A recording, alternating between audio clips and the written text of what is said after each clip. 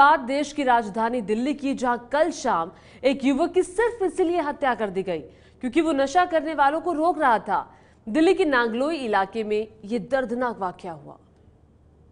मेरा बेटा मेरा बेटा नीचे मारा ना, तलवार मेरा बेटा जल्दी गिर गया मेरे, मेरा बेटा पूरे बजे मेरे हाथों पूरा हो गया था बेटे ने मार दिया अपने बेटे की मौत का मातम मना रही ये है श्यामलता।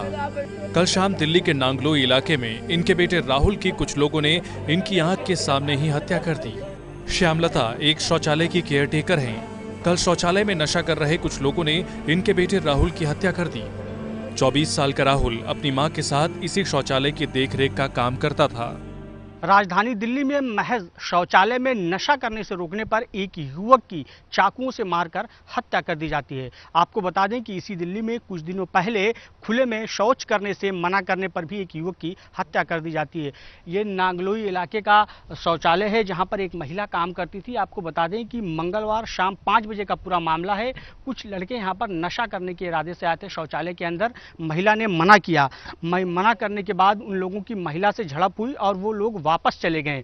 जब कुछ लोगों को इकट्ठा करके यहाँ पर ले आए, कहने लगे कि हम तुम्हें देख लेंगे, कुछ लोगों को इकट्ठा करके ले आए तो इतफाकन उस वक्त यहाँ पे महिला का बेटा था और बेटे से झड़प हुई और उसे चाकुओं से मारकर उस महिला की बेटे की हत्या कर दी। मेरा बेटा पौने पाँच बजे पूरा हो गया था मेरे बेटे ने तलवार मारी ना नीचे, मेरा बेटा मामला खत्म हो गया, मेरे बेटा मेरे हाथों में जी निकला। है मेरे बहुत मतलब कोई नहीं बढ़ा मेरे बेटे में चक्कू पकड़ा मैंने चूरी पकड़ी मैंने। श्यामलता का कहना है कि शौचालय के पास ही एक पार्क है और जिस वक्त ये हादसा हुआ पार्क में काफ़ी लोग मौजूद थे लेकिन कोई भी राहुल को बचाने नहीं आया।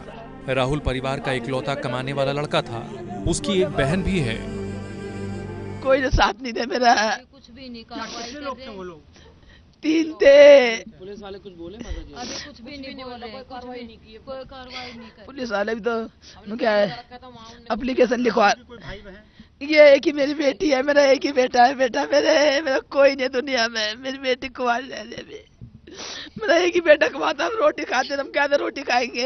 मेरे तो कोई कमाने वाला भी नहीं। वो कमाता हम खाते घर बैठ के माँ बेटी।